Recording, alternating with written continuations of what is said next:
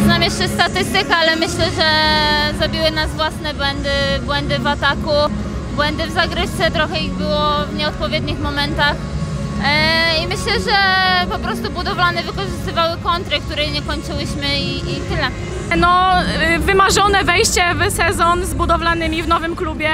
No dlatego to cieszy podwójnie i te zwycięstwa na pewno budują w nas pewność siebie i to jest super. Myślę, że e, my same czułyśmy, że możemy to wygrać w czwartym secie i chyba gdzieś tam dekoncentracja się wkradła. Nie wiem tak naprawdę, co się wydarzyło i e, ten, ta końcówka seta to były same nasze błędy, więc same sobie e, to zrobiłyśmy. Myślę, że na pewno więcej kontr w czwartym i piątym secie i, i myślę, że to zdecydowało. Wiedziałyśmy, że ten mecz będzie wyrównany i, i na pewno ciężki.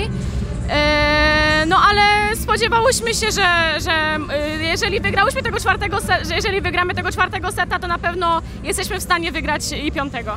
No wiadomo, Superpuchar się liczy swoimi prawami. Jest to pierwszy mecz w sezonie, gdzie trochę stresu na pewno jest. E, no ale to teraz możemy tylko mówić, że będzie lepiej i żeby skończyło się tak, jak skończyło się w zeszłym sezonie. Ja myślę, że jak to zwykle na Pucharze Polski e, jeszcze są tam pewne nie...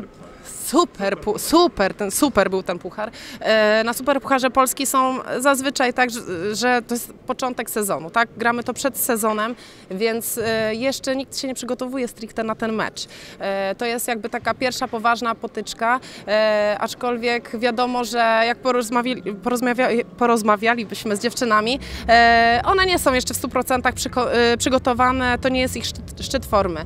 Natomiast było widać ambicje, było widać wolę walki, było widać parę fajnych takich zagrań e, i wydaje mi się, że jak to zwykle bywa na takim super pucharze, im dalej w las, tym pojawiały się po prostu błędy i coraz więcej tych błędów. Gdzieś tam e, w postaci przyciągniętego rozegrania, ktoś za szybko poszedł do piłki, ktoś nie poszedł do, e, do obrony, po prostu już zabrakło na to sił, ale myślę, że dziewczyny jeszcze mają e, czas na to, żeby się rozwinąć pod tym kątem e, i jeszcze tą świeżość złapać no i co? Wygrała Łódź, e, więc gratulujemy, ale tutaj chemik chyba troszeczkę może, może sił pod koniec zabrakło, tak mi się wydaje.